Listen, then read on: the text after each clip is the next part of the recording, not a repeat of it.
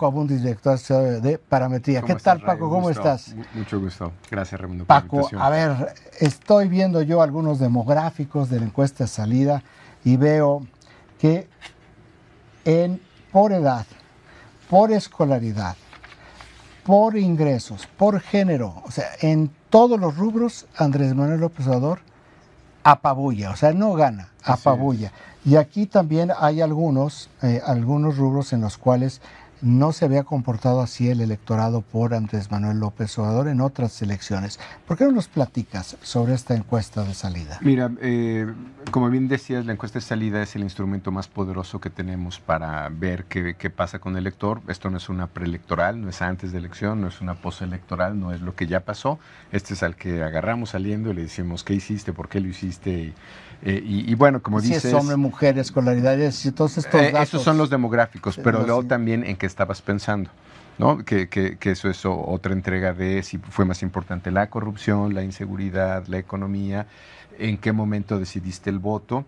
Y luego ya vendrán otras variables que siempre son relevantes como eh, cómo se segmenta el nivel de aprobación a partir de tu preferencia electoral, es decir, se supone que el presidente no estaba en la boleta, ¿no? Hay un debate ahí si estaba o no en la boleta, hay quien dice que sí estaba en la boleta. Subliminalmente. Pues algunos decimos que igual que los candidatos del PRD siempre ponían al lado a López Obrador, el elector tenía en la mente con los candidatos peristas al lado a Peña Nieto. Y entonces algunos creemos que sí estaba en la boleta, ¿no? Aunque no, no, no estaba su nombre ahí. Y, bueno, y luego eh, algunos temas también sobre las reformas, cómo, cómo vio el elector, porque pues es el gran, la gran apuesta de esta eh, administración. Entonces, em, eh, los, lo que vamos a ver en pantalla son los gráficos de, de los sociodemográficos, que es la teoría sociológica más básica, que es, es básicamente haces según quién eres. No necesariamente haces según quién piensas, que eso ya va por la teoría psicológica y luego ya nomás hace según el bolsillo. ¿no? Son, son como las grandes teorías del comportamiento electoral. Entonces, esta es muy básica, una teoría de los 50 de... O en México nos llegó a pasar antes del 2000, si eras un joven, urbano, este, con alta escolaridad, muy probablemente estabas vestido de azul y eras panista, ¿no? Entonces, eh, en, en, el caso de esta elección, eh, creo que tenemos pues, un, tema para nosotros como investigadores fascinante porque es un candidato que ha repetido, este, nos permite repetir este ejercicio tres veces por lo menos, 2006, 2012, 2018. Es una super serie esta. Es una super serie y entonces tenemos exit polls para cada una de ellas, ¿no? Pero eh, aquí solamente son los demográficos del primero de julio del 18 y cómo se comportó, ¿no? Primero te reporto género o sexo, que es de los más, este, pues más, más básicos. Esto era algo que ya se esperaba. Ya sabíamos que más hombres eh, que mujeres iban a votar por López Obrador. Eso no es ninguna novedad. Tal vez la magnitud. Eh, ese 65 de hombres, que, esa columna, hay que compararla con el 55 que obtuvo ya quitando el, el voto nulo, estaría 10 puntos por arriba de su promedio y las mujeres estaría 6 puntos por debajo al final eh, la brecha es amplia, digamos, si sí, hay, este, hay 17 puntos de diferencia, 16 eh, puntos, que yo creo que son significativos para López Obrador. Si ves en el caso de Ricardo Anaya, las mujeres votaron, eso hay que compararlo con su 22 en promedio, eh, las mujeres fue un punto más y los hombres un punto menos. Ya lo sabíamos, tal vez lo que no esperábamos es que para el día de elección iba a perder tanto el apoyo de las mujeres Ricardo Anaya, porque lo teníamos en una brecha de género mucho más amplia en es las interesante, ¿verdad? porque, eh, corrígeme si estoy mal, eh, las mujeres normalmente su comportamiento en la urna es conservador. Así ¿no? Tienen más aversión a los cambios. Así es. Eh, dirías que en ese no, no es del todo contradictorio porque Anaya al final sí representa una opción conservadora. La más conservadora es el candidato oficialista, José Antonio Mid, que es eh, e, ese 19 hay que compararlo con su 16 que obtuvo, es decir, tres puntos más que mujeres, y el 12, cuatro puntos menos en los hombres. Pero ahí se nota más el sesgo que tú, al que tú te refieres. Eh, en principio las mujeres son aversas al riesgo y entonces votarían por una opción oficial o por una opción conservadora, que es lo que representa José Antonio Mid y eh, Ricardo Anaya y otro eh, dato contraintuitivo interesante es el del bronco.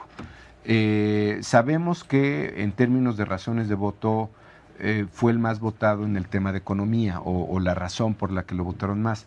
Lo que no esperábamos es que este perfil eh, fuera... Impresionante, ¿ah? es este, este, para serte franco, no tengo una explicación clara. No, no habrá sido esta... No habrá sido el de mocharle las manos, o sea, ¿no crees que ese tipo, porque recuerdo yo algunas, algunas campañas en otro momento no presidenciales, donde castración y pena de muerte pues, les dieron buenos votos a, los, eh, a los candidatos, a los partidos. Sí, puede ser la mano dura lo que está llamando la atención eh, o una sensación de seguridad. La búsqueda de seguridad. Así es, es una buena hipótesis. Para serte franco, ahí sí no, no. Es hipótesis. es hipótesis, exacto. Simplemente es hipótesis. Tenemos el dato, pero no tenemos exactamente el, el argumento. Luego eh, podríamos ir al, gráfico o, a la variable, al demográfico que tiene menos sesgo, que es edad. Si ves aquí todos los grupos se comportaron de manera similar. A mí se me hace interesante el de 2635 porque eh, en el exit poll del 2012 López Obrador ya se había llevado el segmento 1824. Es decir, es este mismo segmento seis años después, ¿no? Ahora, ahora, estaría en 2430 y otra vez se vuelve los millennials se consolidan. Así es, así es. Ese mismo corte puesto, eh, actualizado, puesto en el tiempo, se comporta igual. Y ciertamente los más jóvenes, los primo votantes, hay que decir que ahí había casi 15 millones de potenciales, 2 millones de 18 años, otros 2 millones de 19 y, 4 y perdón, 11 millones de 20 a 24 eh, 55%, pero se comporta, si ven, prácticamente no hay varianza, 55, eh, bueno, eh, en el que hay varianza en el de 63, 26, 35, 56, 56, 55. Es decir, no, no, no hay ningún. Pero ese de 26-35 sí me llama la atención porque en el registro que tenemos del exit poll del 12, en términos absolutos, López Obrador le ganó ese segmento a Peña Nieto aunque haya perdido la elección, pero es uno de los segmentos por los cuales se cierra la brecha y se acerca a siete puntos. Recordarán que... Estaba en 13, ¿no? Y se acerca a 13, 15 días antes. Que fuimos crucificados porque sobreestimamos al actual presidente y entonces este, ya no era una diferencia de 15 puntos, 12, acabó en 7, ¿no? 39-32. Este fue un segmento muy importante para esa, para esa explicación. Esos son los responsables de que los crucificaran. Sí, no, no, no, este, fue, fue una parte importante, digamos. Ah, ya hubo una reivindicación histórica en este primero de julio. Insisto en que no hay tal reivindicación. De hecho, digo, ese es otro análisis, pero en realidad en el 2012 nos fue mejor que ahora. No hubo disputa. Eso es muy interesante. No hubo disputa por segundo y tercero, y ahora tenemos diferenciales hasta de 15 puntos. Abro un paréntesis en eso. A ver, eh, te pregunto, la razón por la cual les fue mejor en el 2012 y les fue peor en términos de opinión pública, eh, frente a lo de lo actual, que dices los diferenciales fueron más grandes, pero les fue mejor, eh, tiene que ver con, punto número uno, el imaginario colectivo empató con el ganador. Esa es una proposición. La otra es que en esta ocasión hubo empresas o hubo invenciones de empresas que se prestaron particularmente, para, bueno, no particularmente, sino para que el PAN y el PRI las utilizaran como instrumentos de propaganda. O sea, eso tiene que ver con. Eh, yo creo que el segundo es, enormes distorsiones. El segundo es muy importante porque recordarán que la discusión de los últimos días, casi últimos meses antes de elecciones, esos datos no pueden estar bien, no representan a la población, cómo es posible que una muestra de mil casos puedas decirme quién va a ganar, eh, las tasas de rechazo son altísimas. La falsa discusión de los indecisos para quién trabaja, ¿no? Había desde cuestionamientos estéticos, morales, hasta metodológicos. Y como bien señalas, hubo una serie, se crearon una serie de firmas, no lo puedo decir de otra manera, que empezaron a publicar mediciones que cuestionaban un poco los datos que, nosotros estábamos publicando. En nuestro caso con Reuters, pero estaban los otros colegas con otros medios, ¿no? Eh, súmale a eso todo el tema de fake polls, ¿no? Igual que hay fake news, eh, ahora serán los fake polls, que es información inventada en redes sociales que además no tiene ninguna responsabilidad con el INE ¿no? O sea, tú no podías ir a buscar su base de datos y a ver cómo, habían llegado a poner a José Antonio Mira tres puntos de López Obrador a ver qué, qué, fórmula mágica tenían. Pues no existía eso, no, no había... Eh, alguien me dijo en el INE que eso debía ser muy caro. Yo le decía, mira, hacer un PowerPoint no creo que sea muy caro. O sea, eso no, esa no es investigación.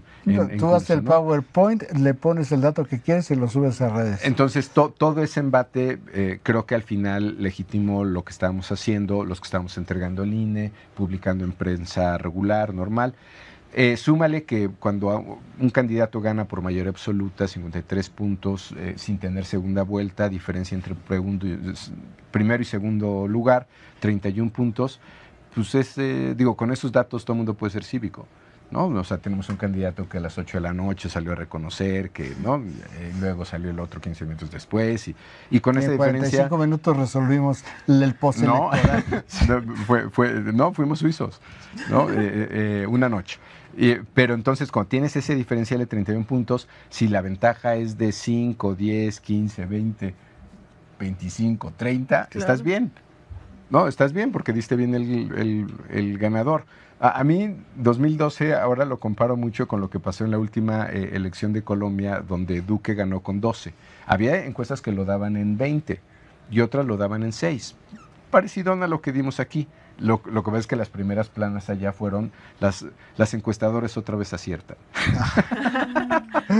vaya, diferencia. Vaya, vaya diferencia. Oye, Paco, regresemos a los demográficos. Eh, bueno, vamos a los dos segmentos que son para algunos sorpresivos, sobre todo cuando eh, alguien quiere definir a López Obrador como el candidato de izquierda. ¿no? Si, si, si vemos este, este eh, al, siguiente de edad, que sería escolaridad, eh, si, lo, vemos en pantalla, vamos a ver esta pendiente pronunciada que tienen sus votantes. Eh, sin estudios, otra vez hay que tener en mente ese 55 que fue su promedio, eh, están 45 puntos, digamos, en su preferencia, es decir, 10 puntos abajo. Primaria, 6 puntos abajo. Secundaria, ya 3 puntos arriba del promedio, 58. Preparatoria, 59. Y universidad o más, 65, 10 puntos arriba creo que, creo que la tendencia es clara. La, la digamos, la, eh, la... Sí, a mayor escolaridad, mayor apoyo. Así es, y, eh, y el PRI se comporta normal. Si ven la, la, roja entre sin estudios, se dobla prácticamente su preferencia. Hay que recordar que su número final fue 16, aquí tiene 31, luego primaria 26, 10 puntos arriba, secundaria ya se empieza... Ah, bueno, secundaria ya es 16, ¿no? Y preparatoria y universidad cae y eh, eh, el PAN o Ricardo Anaya se desdibuja, no, no, no tiene ningún perfil claro. Este creo que es de los datos que más ha llamado la atención y el que sigue, que es por ingreso, porque todo el mundo espera que un candidato de izquierda sea votado por la gente que menos tiene y como está correlacionado con escolaridad, por lo tanto la de menor escolaridad. Y esto un poco lo que dice es que en realidad López Obrador tiene clases medias, o lo votaron buena parte de las clases medias. Eh, hay que recordar que esos segmentos, digamos, como universidad o más, eh, depende qué número consultes, pero en el país no hay más de 15% del país que tenga universidad o algún posgrado. Entonces, si bien son los segmentos que más lo prefieren, son los segmentos que menos pesan, mm. porque nuestro promedio de escolaridad en realidad está en secundaria. Está en 8 o 9 años, ¿no? Según el, dato Máximo 9 años, ¿no? Los últimos datos. Eh, y, eso eh, tiene un correlato por ingreso, que sería el siguiente gráfico. Eh, verás que si, lo, si, lo, si lo podemos ver en pantalla. El por ingreso, ¿verdad? Sí, es, es la misma tendencia, prácticamente se repite el mismo gráfico. Eh, nuevamente, pues a mayor ingreso los segmentos se van haciendo más pequeños, pero si ves, eh, en el primer segmento es 44%, luego 57%, 59%, y eh, cuando la media es 55%, y luego más de 15 mil pesos es prácticamente igual que los universitarios. Qué, interesante este dato de que pues, es un voto fundamentalmente por de clases medias. Y yo recuerdo el discurso de cierre de campaña de Manuel López en el Estadio Azteca, donde hablaba para hacer cosas por dos sectores, los más pobres y los que más dinero tienen, y un poco de, no lo dijo de esta manera, pero, y las clases medias pues súmense a donde quieran, pero realmente no había nada para las clases medias que fueron las que se volcaron mucho por él. De, de, hecho, este gráfico ya lo tenemos para el 12, pero no en esta magnitud ni con esta pendiente. Pero ya en el 12, y parte de la hipótesis también es eh, que corrupción es un tema de clases medias. Eh, eh, y fue parte de su plataforma del 12. Se nos olvida, pero cuando la gente decía que, hizo muy mala que, que pensaba que un López Obrador podría hacer muy mala campaña, yo creo que se referían sobre todo al 6, pero en, realidad en el 12 creció. Creció hasta 32 puntos y toda la pendiente que tiene en su campaña es positiva. Y el tema que ya incorporó desde el 12 fue el tema de corrupción. No estaba en la agenda pública. De hecho, en, la, en ese momento, si mal no recuerdo, solamente el 4% del electorado pensaba que era un tema importante. Pues, lo teníamos en las preelectorales y de hecho ni siquiera lo tenemos en el exit poll porque en la encuesta de salida no consideramos que era una variable fundamental, todo era inseguridad y economía. Mm. Eh, pero por literalmente a petición popular lo tuvimos que meter en el 15, ¿no? Y, creció como la causa más, el causal más importante para el 18. Porque el 15 ya había pasado la Casa Blanca. En el 15 ya que fue como el como el, la pérdida de ingenuidad de muchos mexicanos sobre el tema. Y, la, y entre el 15 y el 18 tuvimos buena parte de los escándalos de los gobernadores de los estados, en particular Veracruz, que, que la gente, creo que a veces en el análisis no dimensionamos el nivel de impacto que tuvo ese escándalo sobre el propio presidente. Porque en un esquema presidencial la pregunta de la gente era cómo es posible que él no supiera que esto estaba pasando. ¿no? Entonces hubo, eh, aunque parece, parece ser que la estrategia del PRI era como dejarlo de lado o, eh, digamos, enterrarlo, cuestionarlo, en realidad le estaba afectando cada vez más a la imagen del presidente. Yo creo que hay muchos saldos que hacer todavía. Sí, todavía mucha, eh, mucho análisis, ¿no? Del por qué. Ajá. Lo, lo que tú publicaste en, en, Eje Central, ¿no? Me, me, parece un gráfico muy claro, ¿no? Lo, lo, lo, que esta combinación de seguir nuestros niveles de aprobación con eventos específicos creo que a veces también hay que tomar en cuenta el efecto que tuvo un evento en particular, como dice la Casa Blanca, pero yo creo que ese pudo, pudo tener tanto o más efecto como el caso de Veracruz. Bueno, es que eso fue como el despertar. Como el despertar, exacto. Y luego lo de Veracruz fue constante. Magnificarlo, magnificarlo y hacerlo... ¿Cuántas, cuántas investigaciones sobre Veracruz publicó Eje Central el año pasado? Seis. Seis el año pasado. Eh, y lo que falta. Más lo que publicaron otros medios. Es decir, hubo muchas investigaciones sobre Veracruz. Y de otros gobernadores publicamos de cada uno como tres. César Duarte, Borge, también. Pues anduvieron muy activos los gobernadores, ¿verdad? Oye, Paco, ahora, hay... Eh, ¿Por qué votó la gente? ¿Cuándo decidió su voto? Que eso también es... Eh, Mira, yo creo que eh, no lo tenemos en gráfico, pero se los comento. Eh, tenemos uno, me, parece los más interesantes, que es el, el momento de decisión de, del voto. Y ahí tenemos cuatro variables que en sí mismo no, no, deberán ser excluyentes, pero es una forma de forzar la respuesta para tener una, como una, una, categoría más clara. la, la, pregunta era literalmente, ¿cuándo decidió usted por por cuál partido o candidato votar. Siempre voto por el mismo partido y aquí tenemos la ventaja de tener el registro desde 2003, es decir, desde hace 15 años. Mm. Y o sea, el voto duro, duro Andrés Manuel López lo tienes perfecto. Eh, sí, exactamente. El de hoy, que es muy chiquito, porque no, prácticamente, pero el del PRI, que eh, eh, es, pues se fue, se fue pulverizando. Pero esta variable o esta categoría, siempre voto por el mismo partido, hace 15 años representaba casi la mitad del voto. 47%. En el 6 bajó a 44, en el 9 bajó a 38, en el 12 bajó a 37, no estaba mal todavía en el, creo que es parte de lo que explica al actual presidente. En el 15 bajó a 31, pero este último registro lo tenemos en 19. Wow. Bajó de hace 15 años. de casi la mitad de la población a uno de cada cinco electores, 20%, 30% de caída en 15 años. Ese yo creo que es de los cambios más, más este, sustanciales, pero obviamente si ese cae, pues las otras variables tienen que crecer. Durante la campaña, lo que lo tenemos en 19, en 2003 terminó en 36 puntos, es decir, casi uno de cada tres electores te dijo que estuvo atento a las campañas o el crecimiento es más paulatino, de 19 puntos en el 3 a 26 puntos en el 6, baja nuevamente a 23 puntos en el 9, 29 puntos en el 12, 26 puntos en el 15 y se dispara a 36 puntos en esta última elección, crece 10 puntos. Y la otra variable que tiene un crecimiento paulatino es cuando supe quién era el candidato. Eh, y mm. ahí lo tenemos en 30%.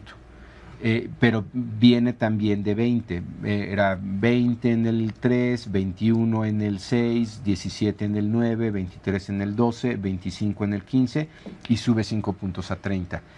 Eh, y bueno, lo, que se mantiene estable es el voto, la, decisión del último día en la urna. Quien dijo que había decidido en la urna, que es la volatilidad extrema, ¿no? Mm. Eh, y ahí la tenemos en niveles normales de 14 puntos, antes fue de 13, de 9, de 15, esa no cambia de manera sustancial. Pero las dos que crecen de manera impresionante es cuando supe quién era el candidato, ¿no? Que, esto responde a tendencias mundiales de comportamiento electoral, ¿no? no eh, y, durante la campaña. Ahora, si esas las segmentamos por, por, por eh, los este, eh, por las preferencias electorales, donde influyó más cada una, como sería de esperarse, José Antonio Mid, pues le influyó más, siempre votó por el mismo, ¿no?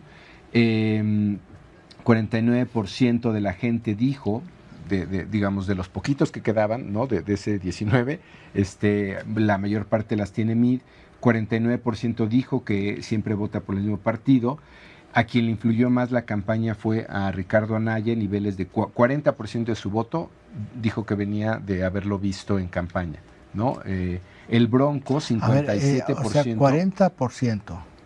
Eh, si te doy los, No, porque estaba, estaba recordando lo que dijo ayer el PAN en esta primera, primera análisis de lo que pasó y dicen fue muy dura, le pegó muy fuerte la campaña del gobierno de Ricardo Anaya. Mm. Y aquí estamos viendo que sí pudo ser que le frenó el crecimiento, pero le dio, pero le dio, votos. Digo, creo, que eh, todo mundo, eh, digamos, eh, con una evaluación subjetiva pensamos que lo hacía muy, es un buen orador, que lo hacía bien en los, en los discursos, ¿no? Pero, y eso parece que al final acabó importando o imperando. En estas categorías sería difícil eh, encontrar esa... ser el cruce, ¿no? Exactamente. Pero si, si, si te doy las otras dos... El Bronco siempre, me parece increíble. Siempre voto por el mismo partido 27, cuando supe quiénes eran los candidatos 24, en el caso de Anaya, y 40% durante la campaña. Mides 49, siempre voto por el mismo. La mitad de su voto viene de voto de identidad partidista. 14 puntos cuando supo quién eran los candidatos, es decir, es el impacto menor como candidato. Durante la campaña 25% y hoy 10. El caso del Bronco, te lo doy antes de López Obrador, siempre votó por el mismo partido, obviamente no con el Independiente, eso es 2%. 2, 2, 2% cuando supo quiénes eran los candidatos 26% y durante la campaña 57%. Ahí estamos viendo esos resultados, ¿verdad? 57%. Es que les gustó, le gustó a la gente. Ah, hubo un segmento de la población, si lo combino esto con las razones de voto, que lo, que lo, que lo vamos a ver ahora, la gente que dijo que le importaba eh, o mm, el Bronco concentra la variable economía, con, mayor intensidad como razón de voto a él como candidato. Eh, si, si, quieres lo revisamos. Y bueno, lo del López Obrador que me parece interesante, siempre voto por el mismo partido, pues alguien que ya votó en el 15, supongo, y que ya había decidido en Morena, Porque ¿no? existía Morena. Porque no existía, entonces 12% dijo eso. Cuando supo quiénes eran los candidatos, 35, es, es decir, 5 puntos arriba de la media que les di de 30, y 38% durante la campaña entre cuando supe quién era el candidato y durante la campaña, se puede explicar más del 70%, casi el 75% del voto de López Obrador. Obviamente el partido no es tema y eh, voto de último minuto 15%. Eh, finalmente en los temas que me parece interesante, como les decía, en el 12 teníamos inseguridad y economía. Ahí eh, en inseguridad fue 35% y en economía 30%. En el 12 que es cuando la metimos como pregunta, lamentablemente esta no la tenemos para, para el 15 y, y otro 32% ambos. Inseguridad se queda en 35 para el 15, economía eh, calla 21 y la corrupción por primera vez aparece en 15 puntos. 15, eh, esto es 2015, 15 puntos. Y todas las O sea, categorías en 22. tres años subió 300%. La, De la- porque de es la que era norma. 4%, está en 15%, pero es 300%. 15, pero espérate, ¿cuánto crece del 15 al 18? O sea, si De, eh, de, tiburón 2, de 15% crece a casi 30, 29%, aparece como la causa más importante para todos los electores de, de, eh, para, para decir su voto. Wow. Economía 28, inseguridad 23, todo 18. Eh, in- in- incluso podríamos magnificarlo si ese todo se lo sumamos a, a- a- a las otras categorías.